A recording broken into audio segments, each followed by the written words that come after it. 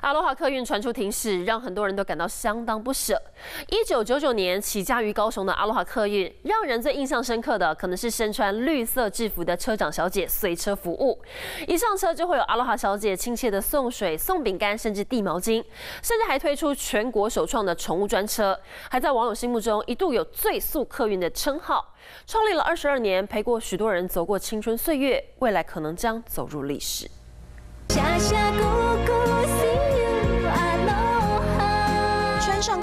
制服，台语歌后黄飞这一开口，是不是唤醒您对于阿罗哈客运的回忆？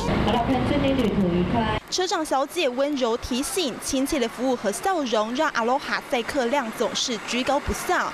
创立于一九九九年的阿罗哈客运是高雄起家的国道客运公司，不仅曾推出车长小姐随车服务，还有全国首创的宠物专车。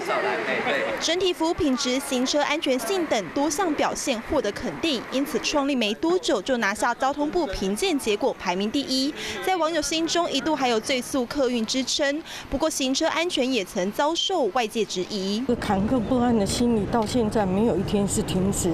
二零一七年国道一号冈山路段六死十一伤严重车祸，董事长陈瑞麟亲自出席告别式。